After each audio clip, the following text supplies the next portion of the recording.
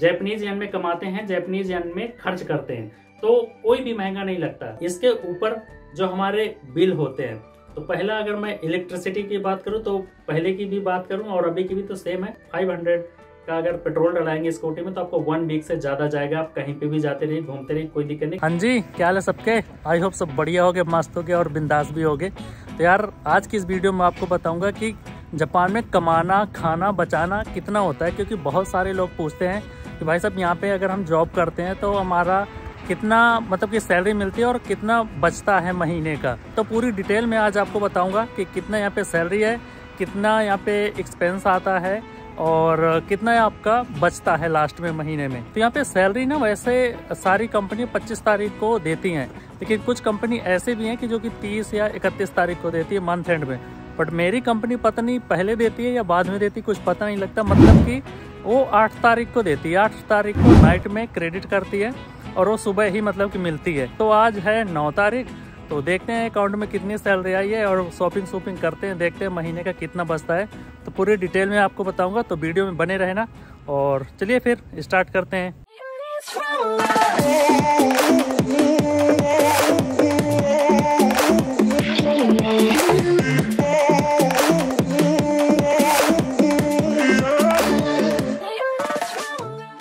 इस एटीएम में क्या होता है? यहाँ पे होती है इंग्लिश तो ये थोड़ा सा इजी होता है चलाने में।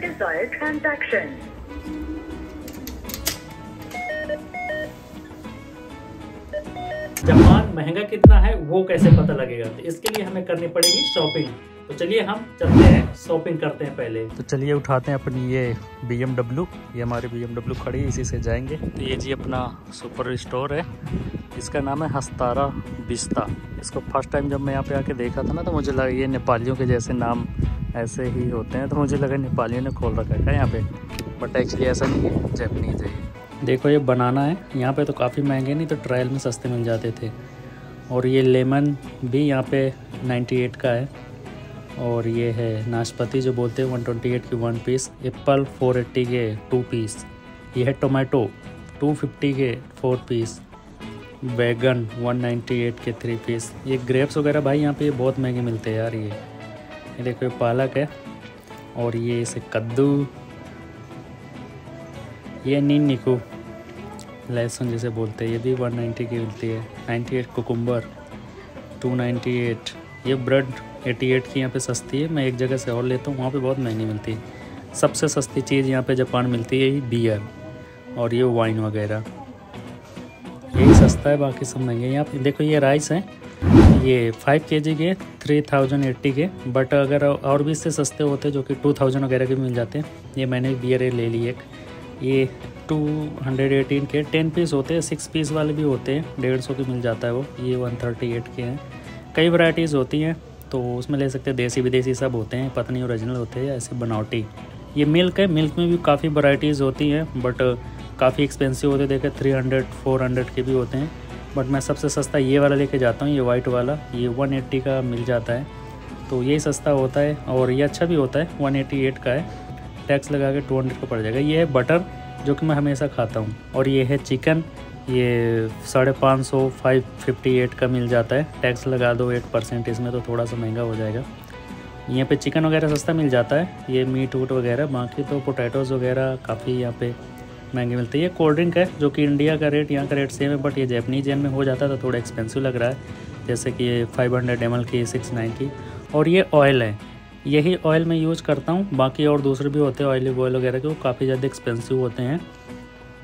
लेकिन मैं इसी को लेके जाता हूँ यार, यही खाते हैं। अच्छा भी होता है ये।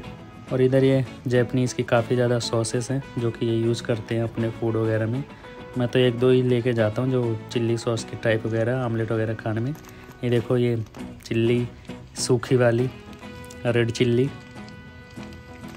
और ये शुगर टू एट्टी की मिल जाती है। ये नमक सीसर्ड ये गुड़ भी देखो यहाँ पे मिलता है। मैं कभी कभी मन करता है तो खाता हूँ नाइट में। और इसको हमेशा देख के लेना, ये चीनी वगैरह, नहीं तो पता नहीं लगता। ये थर्मस वगैरह यहाँ पे काफ़ी ज़्यादा महँगा मिलता है यार बट मैं सजेस्ट करूँ, किसी को लेना है तो वो ट्रायल होते हैं, वहाँ से ले सकते हैं, जहाँ पे मिल जाता है। और ये भी काफ़ी ज़्यादा महँगे होते हैं यार यहाँ पे। ट्रायल जो सुपर मार्केट का मैंने एक वीडियो बना रखा है, वहाँ पे सस्ता मिल जाता है। और ये ना हंड्रेड एंड की शॉप है। सुपर मार्केट में ये एक साइड में लगी रहती हैं, जहाँ पे आप होम वगैरह के लिए, अपने घर के लिए यूजस वाली चीज़ें आप हंड्रेड एंड के ख़रीद सकते हैं। इसमें मतलब टेन परसेंट वही ऐड होता है टैक्स तो वन हंड्रेड टेन का पड़ जाते कोई भी सामान लो यहाँ पे। तो सस्ता भी होता है, काफ़ी ज़्यादा सामान। और ये हैं बुक्स वगैरह मिल जाते हैं फेयर कॉपी वगैरह, जो कि हंड्रेड एंड की है। बाकी कहीं से लो तो बहुत महँगी मिलती हैं। ये देखो इस तरह की ये घर के यूज़ के लिए, अपने रूम के यूज़ के लिए बहुत सारा आइटम मिल जाता है यहाँ पे, जो कि सही रहता है। ढाई सौ होते हैं, वहाँ पे बहुत आइटम मिल जाते हैं। यहाँ पे तो थोड़ा सा लिमिटेड होता है बट स्पेशल होता है। हंड्रेड एन वाला वहाँ पर मिल जाता है। देखो यहाँ पे ये ड्राई फ्रूट्स वगैरह मिल जाते हैं। हंड्रेड एन हंड्रेड एन के हैं। पर छोटा पैकेट है बड़े बड़े भी मिलते हैं तो वो होते हैं। देखो जैसे टू नाइन्टी एट का पीनट्स है, और भी काफ़ी है। काजू वगैरह है आलमंड्स और ये बिल कराया हमने। यहाँ से पैसे डाले, यहाँ से पैसे निकलते। ये है बिल हमारा। ये जेपी पोस्ट है। ये पोस्ट ऑफ़िस भी होता है और इसके में बैंक भी होता है। तो अगर आप इसमें अकाउंट ओपन कराते हैं ना तो इसका बेनिफिट होता है, ब्रांचेस बहुत ज़्यादा होती हैं। हालाँकि मेरा इस बैंक का अकाउंट नहीं है। तो ये था कुछ वेजिटेबल वगैरह जो कि हम जैपनीज सुपरमार्केट वगैरह से परचेज कर सकते हैं। अब अगर हमें, जैसे कि हम इंडियन है तो हमें इंडियन ग्रोसरी चाहिए होती है। तो इंडियन ग्रोसरी लेने के लिए यहाँ पे काफ़ी ज़्यादा रेस्टोरेंट है, जो कि नेपाली, बांग्लादेशी, पाकिस्तानी ओपन करके रखते हैं और वो रेस्टोरेंट भी होता है और ग्रोसरी भी सेल करते हैं। तो आप वहाँ से ले सकते हैं या फिर यहाँ पे काफ़ी सारे ऑनलाइन स्टोर है, जैसे कि अंबिका है, वहाँ से मैं भी मंगाता हूँ तो आप वहाँ से मंगा सकते हैं। तो अब उसके लिए जैसे कि अगर आप रोटी खाते हैं तो आटे की कीमत यहाँ पे फाइव के की वन थाउज़ेंड के करीब होती है। और अगर आपको और किसी तरह की कोई जैसे लेनी है, दालें लेनी है, जैसे अरहर की दाल लेनी है, मसूर की दाल लेनी है, छोले लेने हैं, राजमा लेने हैं या और भी कुछ लेना है तो ये दालें वगैरह, ये 400 से 600 के बीच में ये जैपनीज येन में मिल जाती हैं, आप कुछ भी ले सकते हो। तो ये खाने की बात करूँ, जो कि मंथली होता है तो मेरा, अगर मैं अपने हिसाब से बात करूँ तो मेरा खर्चा जब मैं पहले स्टूडेंट में था, तब भी, और अब जब वर्किंग वीज़ा में हूँ, तब भी तो मेरा यहाँ पे 12 से मतलब कि 10 से तेरह हज़ार के बीच में आता है, जो कि मंथली मेरा खाने खाने का खर्चा होता है। इसमें सब कुछ जो भी आप दिमाग में सोच सकते हो मैं ये खाता हूँ और मैं भी वो सब सारी चीज़ें खाता हूँ, ठीक है? अब इसके ऊपर जो हमारे बिल होते हैं तो पहला अगर मैं इलेक्ट्रिसिटी की बात करूँ तो पहले की भी बात करूँ और अभी की भी तो सेम है। तो मेरा तीन हज़ार से चार हज़ार के बीच में इलेक्ट्रिसिटी का बिल आता है, जो कि अभी यहाँ पे पड़ा हुआ भी, वो भी इस मंथ का देना है। और गैस का भी बिल आता है थ्री से फोर थाउज़ेंड के बीच में। ये ठंड में थोड़ा सा बढ़ जाता है, क्योंकि यहाँ की जो हीट होता है, गर्म पानी होता है, जो शावर यूज़ करते हैं, ये गैस से कनेक्शन होता है इसका। तो ये, अगर हम जब उसको गर्म पानी यूज़ करते हैं तो ये थोड़ा सा गैस का कनेक्शन बढ़ जाता है। ठीक है, ये हो गया। अब रूम की अगर बात करें तो ये भी एरिया पे डिपेंड करता है कि आप अगर मान लीजिए आप स्टेशन के पास रहते हैं तो वो थोड़ा सा ज़्यादा महँगा होगा। स्टेशन से दूर रहते हो तो वो थोड़ा सा ज़्यादा सस्ता हो सकता है। तो जैसे कि मैं अपने रूम की बात करूँ तो मेरा तो काफ़ी ज़्यादा महँगा फोर्टी फाइव थाउज़ेंड मंथली यहाँ पे लगता है, बट मेरी कंपनी पे करती मैंने आपको बताया था। तो मुझे प्रॉब्लम नहीं होती है। अगर मैं एवरेज की बात करूँ तो यहाँ से 20 से पच्चीस हज़ार के बीच में आपको एक अच्छा घर अच्छा रूम मिल जाएगा।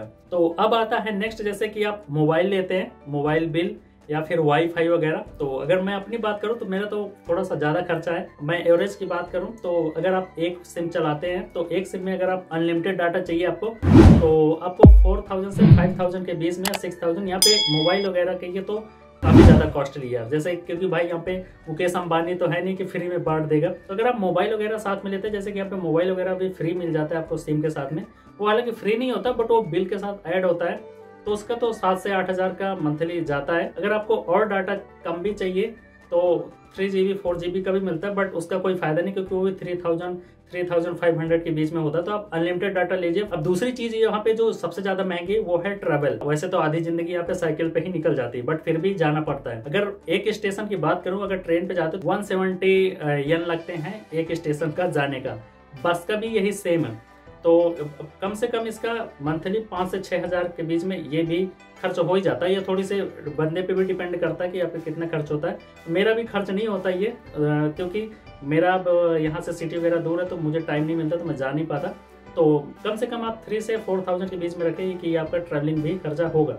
एक सजेशन है आपको कि अगर आप जापान आते हैं तो आप लाइसेंस वगैरह बनवा ले तो आप स्कूटी वगैरह ले सकते हैं तो वो आपको बहुत ज़्यादा सस्ता पड़ेगा। फाइव हंड्रेड का अगर पेट्रोल डलाएँगे स्कूटी में तो आपको वन वीक से ज़्यादा जाएगा। आप कहीं पे भी जाते रहिए कोई दिक्कत नहीं क्योंकि यहाँ पे पेट्रोल सस्ता है। पेट्रोल के साथ यहाँ पे दारू बहुत सस्ती है बियर वगैरह ये दो चीज़ यहाँ पे बहुत ज़्यादा सस्ती है। अब और अगर एक्स्ट्रा बात करूँ तो जैसे कि हेयर कटिंग वगैरह होती है अभी मैंने लेटेस्ट कटाया है तो दो महीने में अगर भी कटवाते तो, तो मिनिमम वन थाउज़ेंड तो लग ही जाता है। तो अगर मैं पूरा एक मंथ का खर्च की बात करूँ कि कितना खर्चा होता है वो पूरा वन मंथ में कम से कम आपका पचास हज़ार तो होता ही है। पचास हज़ार से साठ हज़ार के बीच में होता ही है। पचास हज़ार से नीचे तो आप कभी सोचना भी मत की होगा। ये ऊपर ही जाएगा, नीचे पचास हज़ार से नीचे आता नहीं। तो और ये खर्चा तब ज़्यादा बढ़ जाएँगे जब आपको अयासी चढ़ी है, आपको क्लब जाना है, आप तो वो फिर अलग है, उसकी कोई लिमिट नहीं है। एक्सपेंस बहुत ज़्यादा बढ़ जाएगा। और हाँ एक ज़रूरी बात कि ये खर्चा तभी इतना आएगा जब आप खुद से खाना बनाओगे। और अगर एक टाइम का अगर आप खाना खाने जाएँगे रेस्टोरेंट वगैरह में